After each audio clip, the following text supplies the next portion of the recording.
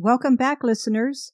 Today I will be sharing my past life known as Abu Shakar. This particular life was a resting life, and I know for those of you who are following my lives, you know that I have had some pretty traumatic lives already that I've shared with you listeners. So it is with a pleasure that I share this wonderful resting life. I had visions of this bazaar in this life when I was around 12 years old before my near death experience. I would often hear the sounds of a bazaar as well as a blue scarf spinning around and lots of activity associated with the bazaar, the sounds and the incense, but I could not get any more. But I oftentimes would fall asleep thinking about this wonderful memory of this beautiful bazaar. I hope that you will enjoy it as much as I do. I became aware that a distant voice was calling a name. Abu! I would hear it randomly over a period of weeks that stretched into months and then into years. But there was nothing else. Just the haunting, imploring sound, Abu. I decided to do some research to see if I could gain any insights, and I learned that this was a name often used to refer to a man that showed respect, usually a father figure. I wondered who this person could be and why I was hearing his name. Whose voice was it? It sounded so imploring. Was it calling his name for help? No, it sounded more happy and joyful. It sounded like a child's voice, or maybe it just felt that way to my ears. I enjoyed the sound and would always stop when it drifted into my awareness. Abu! And it would bring a smile. So although I had the memory when I was a much younger child, I didn't remember the past life itself until I was an older person. On the day that I remembered this life, I had a great deal of anxiety because a young family member was going away on a trip. They would be gone for weeks, and I worried that something would happen while they were away. I also worried that they would never know how I felt about them. I had not taken the time to go visit the family and the child before it left. I feared that there would be words unspoken between us, but my three year old grandchild was too young to understand my fear. I could only give a hug and a long goodbye in an effort not to frighten them with my fear. I resolved to go to bed, rest, and be alone.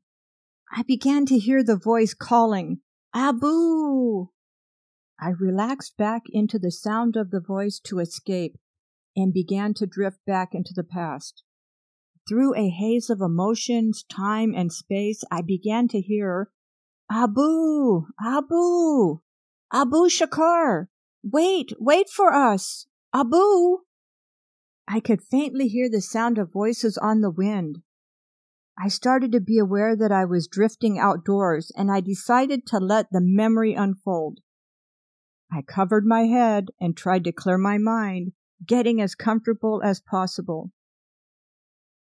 As my mind drifted, I became aware that I was standing at the base of a great mountain range with snow covered tops. I was surrounded by a vast meadow, and I immediately recognized the Himalayas in the distance. There was a chill in the air, and I felt a slight shiver. I looked down and became aware that I was sitting on a camel. From the height, I could see across a great green expanse of meadow, with tall green grass and spring flowers blooming all around. I felt my body and realized I was a man with a long beard. As I ran my fingers through the hairs, it felt silky and it smelled of lavender. I held the hairs up and saw that it was gray. I ran my hands down my body and realized I was wearing flowing robes. My head was covered. Abu! Abu! Abu Shakar! Wait, wait for us! It is prayer time! came the sound of a familiar young boy's voice in the distance. My eyes swept across the greenery, and I saw many familiar faces. Abu Shakar, it is prayer time, came a voice very close to me. I looked down and saw the excited faces of a group of young boys. Their faces shined in the afternoon light. Their smiles were electric. As I took a closer look around, I recognized all of the faces and realized they were all family and friends. I became aware that I was the leader of a group of nomads, of a specific group of nomads. The word Afsyrian drifted into my mind, and the year 1531. Some of the members were riding camels, others were walking. Another group of young men were running towards me to announce it was prayer time. I was Muslim. I sat smiling and enjoying the excitement of the boys. I loved prayer times. It was a joyous moment shared by all. I dismounted and hugged the young boys as they reached me. Abu, can I lead the prayers today? Please, I have been practicing, came a voice from a young boy with pleading eyes. And I said, Yes, you may lead the afternoon prayers. Go and choose a good location. Immediately the young boys dashed off, prayer rugs in hand, jumping and laughing. This was a perfect moment in time. I was in a land that I loved, surrounded by the most important people in the world to me. The day was glorious, a glorious gift. We had food and water. There was no war. We enjoyed peace and prosperity. The climate was amazing. Living the life of a nomad was joyous, and I was able to see the world, or at least my part of it. The breeze smelled so sweet, and happiness poured over me. I felt blessed and thankful. This was a much different life than others that I remembered. This was a peaceful, resting life to nourish my soul and I definitely needed it. As I stood watching the boys, I suddenly was aware of a woman appearing to my right and gently touching my arm. Let me walk with you, Abu. She gently guided me towards the young men. Her touch was so light and loving. I smiled down at her. She was wearing a beautiful head covering. I realized that I could not walk very well on my own, and I needed a cane or help. We walked a short distance where the nomad group was gathering together, lining up for prayers. The boys had taken their position at the head of the group. The one young man began the call to prayers, a haunting, summoning, pleading call for all souls to stop and take refuge in the words of Allah. I lowered my head and looked directly into the eyes of the woman I was walking with. I was momentarily frozen by her eyes. I stopped to stare into her face, memorizing all of her delicate features. She had lovely black eyes and a sweet face. She shyly put her eyes down and asked if anything was wrong. No, there is nothing wrong, and I smiled at her. I lifted up her chin so that I could look into her eyes. This was my beloved daughter, Afsahar. I became aware that I felt completely blessed when she entered my life and has taken care of me faithfully since her mother, Rashida, passed away long ago in childbirth. I took a moment to hug her and thank her for caring for me. We walked together over to the others and began to perform our prayers. As the prayers began, the moment began to fade, and I thought the memory was over. When I realized that I was in a different location and I was receiving a different glimpse of his life. My eyes slowly looked around to take in all the information that I was receiving.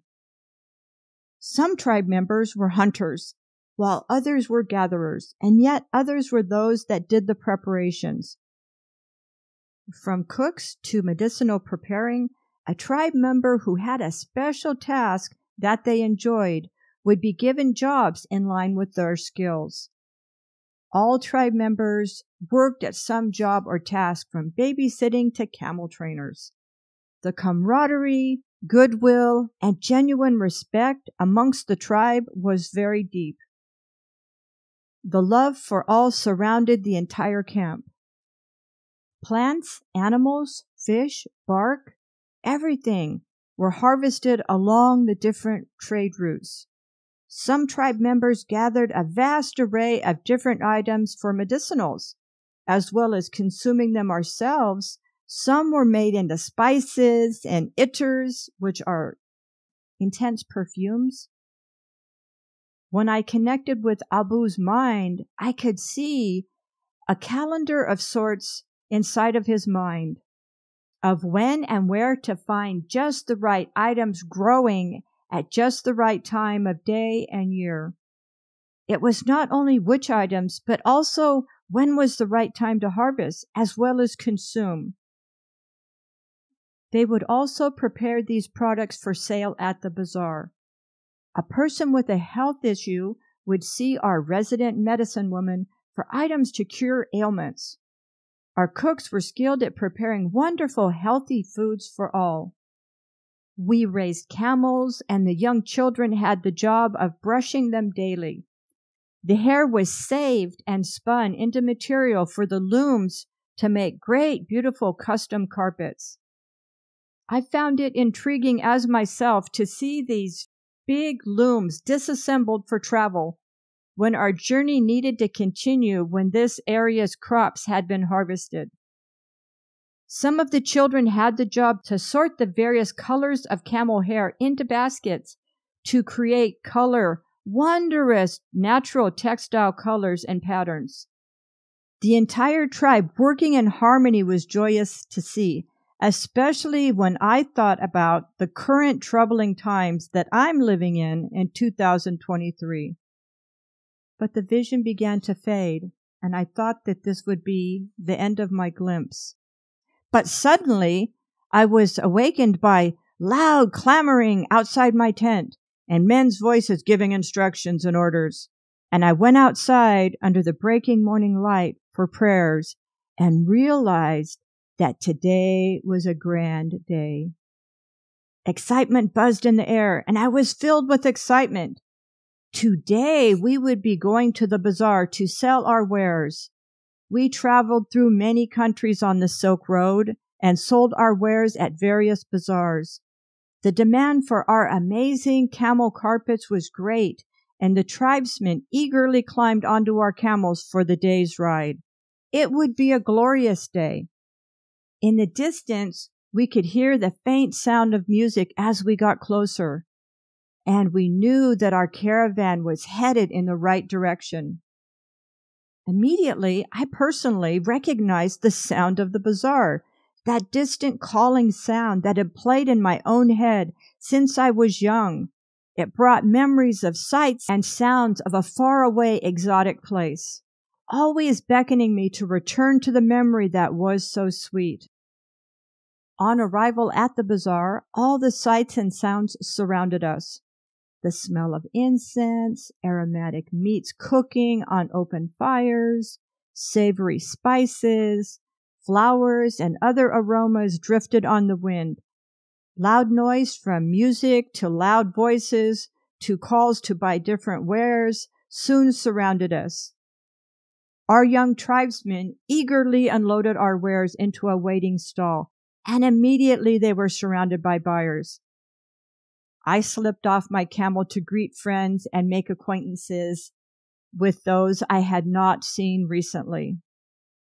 I walked down through this year's bazaar and marveled at how large it had become. I wondered how much bigger could it get by next year? I remembered a time when the bazaar was much smaller and we all knew each other back then.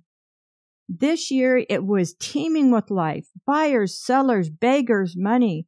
My senses were assaulted by such variety, and by the end of the day, I was ready to rest. I had eaten too much, and sleep was calling my name. The prayer area was filled with family, friends, newcomers, and after I had enjoyed the moment to the fullest, I stopped at the door to my tent for one last second. I turned and took a deep breath and tried to memorize the moment. With my age, it could easily be my last. After I adjusted myself on my favorite carpet, a cool breeze assisted me as I drifted to sleep. My next glimpse into this life found me lying in bed gravely ill. I was dying. I had had a wonderful long life and I shared it with people that I genuinely loved. I have been blessed to know Islam to its greatest depths, permeating every cell of my being in a joyous chain of memories. I prayed every single day of my life, never missing a single prayer time from the time that I was aware. This life had been so filled with blessings, I began to realize that it was my favorite past life memory as myself. It expanded my awareness of peace and tranquility. This entire life, I had felt like I had been on a vacation of sorts, and I had so enjoyed each and every day each and every person. I was aware that I was a popular, kind, giving, pious man, but my end was near. I became aware that I was surrounded by men, women, children who were crying. My daughter was on my right hand side, her head leaning on my shoulder. She shuddered, wailing, and tears flowed down her soft face. She was praying for me in between sobs and wails. I realized that she had never married. She had dedicated her life to taking care of me. Now would be the time for her to move on and have her own life. I hugged her and gently whispered that I wished her peace and happiness. I thanked her again and again for her sacrifices for me and for her kindness. Then I became aware that I was moving out of my body. I just drifted up and it was without pain. I hoped I was drifting towards paradise and my heart jumped with joy and I was looking straight up into the sky, anticipating a rejoicing moment. When I was approximately 10 feet above my body, I turned around and looked back at the life I was leaving behind. I smiled and I wanted to see it one last time. I saw that beyond the tent there were men, women, children, and my favorite camel. Everyone was gathered outside my tent.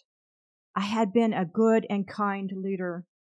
I smiled at their loyalty and my heart felt great joy. But abruptly, I looked down and I was looking straight into my daughter's eyes who was looking up beyond me towards paradise. For a moment, I was able to see the future. It flashed before my eyes in that moment of change, and fear shot through my veins. Wait! I yelled so loudly. Frantically, I struggled to get back inside my body. Just one final moment. Just one final word. I had to talk to her one last time. I yelled loudly, stop!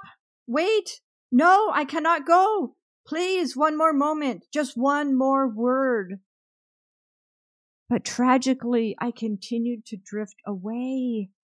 I watched as my daughter's tears ran down her cheeks, and I became agonizingly aware that she would never be the same, that she would never marry and enjoy life, that she would grieve for me the rest of her life, there was nothing I could do to stop it, and it hurt every cell in my body to be aware of it. Why, oh, why did this have to happen? This was a fantastic life, maybe my best life.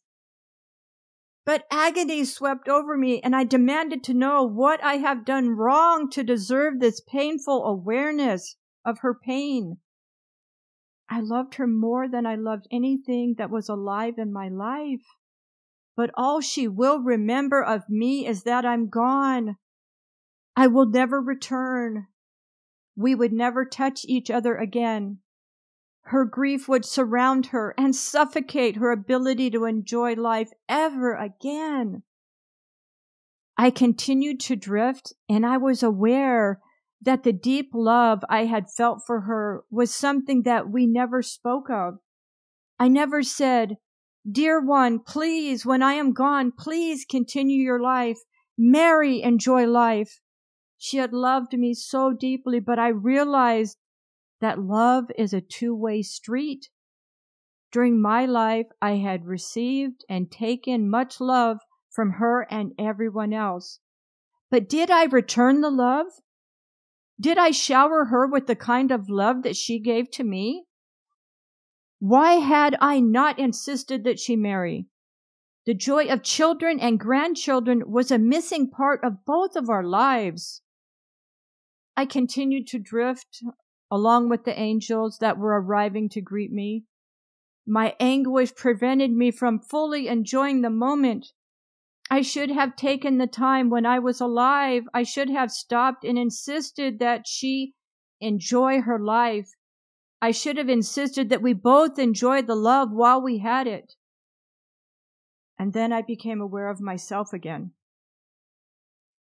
I immediately cried. I cried for his grief, for his sadness. It physically hurt me to know the depth of his despair as his past life memory began to wear off and I became more present in myself. I gradually became aware that this pain, this deep pain that he felt in that moment seemed somehow familiar. Yes, this aching feeling in the pit of my stomach was indeed familiar to myself. It was the same feeling I was experiencing when I was away from my children and grandchildren. The feeling that I had to share one last word with my loved ones during specific moments. It was the same memory, the same feeling. I could almost smell, feel, taste, that past life memory that bound all of these emotions together. It tugged at the anxiety disorder that I was trying to leave behind. This life and my current life were connected with this exact moment of loss that he felt and I feared. I knew that different sensory triggers activated it. I knew I needed to work on this. Oh, I, I held this past life memory beside the memory from today when my grandchildren left and the emotion was the same. It radiated from a frequency that was so unique it could be compared with the smell of coffee, completely different from any other memory. I had lived with this my whole life and small snips of time, space, and memories flashed past. At the time of this memory, I was not seeking any metaphysical assistance. I had no Kathryn Leeman in my life at that time. I had to heal myself the only way I knew how at that time. The idea of using past life therapy as a means to heal myself would not come to me for years. So I did what I knew to do in the only way that I knew to do it. I prayed. I prayed to God and I just prayed to the universe to please help me because I needed help. I thought I cannot do this myself. I need your help repairing me back to a whole human being. I prayed to be shown the way and I promised to follow if the doors were open for me. And soon I drifted into a long sleep that lasted all afternoon and all night. The next morning I felt exhausted. My body ached. My mind was dull. But that feeling of panic that had gripped me the day before was less like a knife. I took a deep breath. I could breathe easier. A journey to recovery had begun I had setbacks and successes, but gradually the string of emotions subsided and eventually I began to heal. I later learned that I had somehow released that negative energy that was bound in that past life when he was departing and missing his daughter so much. It now hurts much less to think of Abu, Afsahar, and family members. Now, whenever I think of this life or experiences, the pull to drift back to those emotions, I imagine throwing pink flowers into the memory. Beautiful, sweet, lovely pink flowers for healing. I hope that our listeners have enjoyed my past life memory. For many reasons, this is one of my favorite lives because of the peace, tranquility, and happiness that Abu got to live in his entire life. And for other reasons, because this was the beginning of a healing moment for myself, it's a favorite of mine as well. And I'm always going to stop and listen when I hear anybody around me with the sound and the call to prayers, the sound of Abu, the sound of a bazaar, even the smell of incense. Thank you, listeners. Thank you to all of our listeners. If you have enjoyed our frequency journey today, please share it with your family and friends. Make sure to visit us at clovistia.com or you can follow us on Instagram and Facebook, where we have about a million followers over there. Until next time, please share your frequency.